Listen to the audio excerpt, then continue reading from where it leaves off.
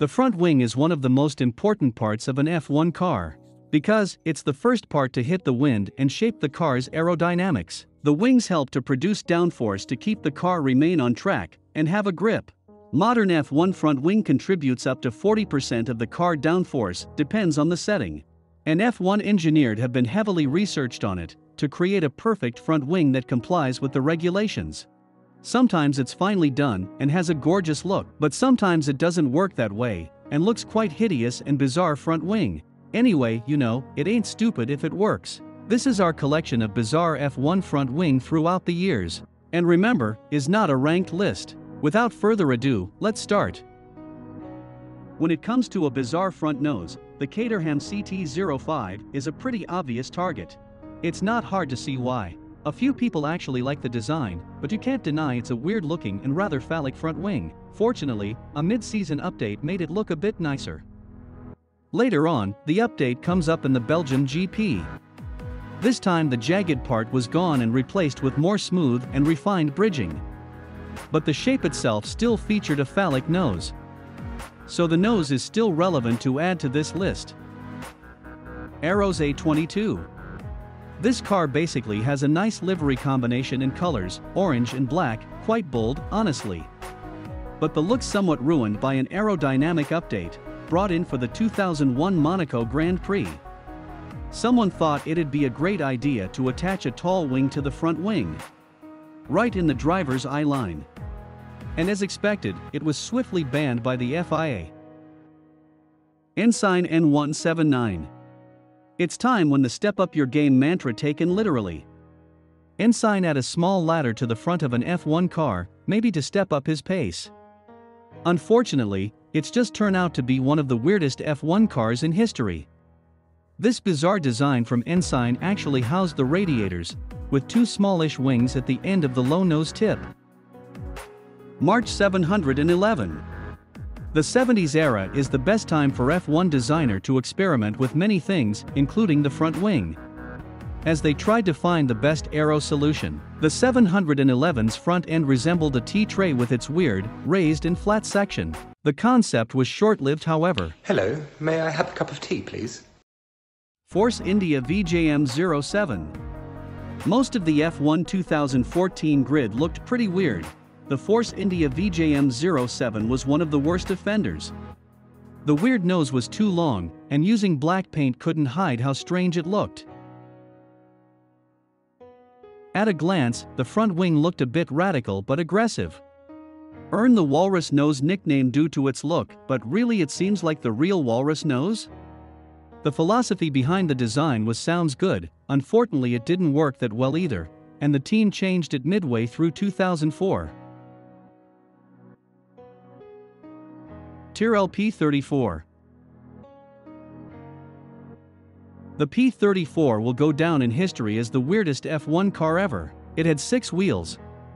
So there's that. But the front wing also looked quite odd. It looked a bit like someone had put a snow plow on the front of the car to clear the track. Arrows A2 Arrows tried to utilize the ground effect in maximum way, so they ditched the need of front wing and the car had bullet-shaped nose. Actually it wasn't that bad, but it's quiet odd looking. Renault R29 The R29 featured a bizarre front nose arrangement that raised some eyebrows. Its bulbous shape and low-hanging vertical strips look unwieldy compared to most of its rivals. Hesketh 308 this car actually was quite competitive at that time. It gave James Hunt his first podium and win. The car itself had some front nose variation, and one of them was the double front wing. The additional front wing attached just in front of the nose, making the nose look busy. Forti FG01 There weren't interesting part of this car apart from the Brazilian-themed livery. The car itself was slow and out of date, since it was basically just an updated F3000 car. Talk about the nose. It had a plump nose with some various shape of front wing plate, which all of those look suspicious and unfamiliar. Ferrari F 2012 In 2012, Ferrari has given us the new look of the step nose, the result of F1 designers attempting to cope with new regulations. The nose truly resembles a platypus duckbill or boxer's broken nose. The truth is, almost of the cars in the 2012 season used a stepped nose, but the one Ferrari had was the most distinctive. Honda RA107 and RA108 In 2007, Honda made a huge blow when they introduced Earth Dreams livery, that featuring a whole Earth satellite image.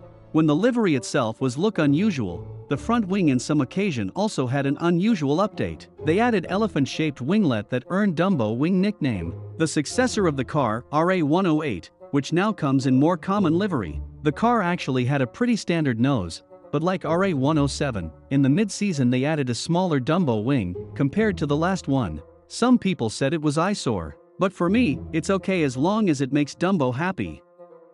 McLaren M26 the car was already suspicious, even in James Hunt's hands. Rather useless, and then somebody at the factory noticed that they had a spare rear wing, so to add to the general awfulness, in the practice session at 1978 Spain GP, they stuck it on the front. It didn't help, the car remained dreadful, both in looks and performance. Brabham BT34 The BT34, which was nicknamed the Lobster Claw, featured a split front spoiler. The two boxes at the edge of the midsection of the front wing actually were housed radiators. It was an innovative design, but the car was uncompetitive. Don't worry, this one doesn't pinch. Ferrari F14T When talk about bizarre F1 front nose, the 2014 cars are the real free real estate. You only have two options, either a phallic or vacuum cleaner look. Ferrari opted to choose the second option, The look itself resembles the anteater nose due to its low wide profile. McLaren MP429 The MP429 has adopted similar livery seen on the 1998 championship winning car driven by Hakkinen. The chromed body is offset by black inserts and accents on the front and rear wing. Like others 2014 cars, the car featured a finger nose, the main reason why this car joined this list. Lotus E22. Actually, this front wing design was clever and looked very different to the rest of the grid. The problem was, some people couldn't accept that fact. The twin tusks of the Lotus weren't equal in length to fit into the regulations, and certainly weren't what we were expecting ahead of the 2014 season. Thank you for watching my video. If you have another F1 car with a bizarre look, either its front wing or any part of the cars, please comment down below. And please support me on my Patreon page, you can access various perks and get exclusive downloadable contents there. Until next time.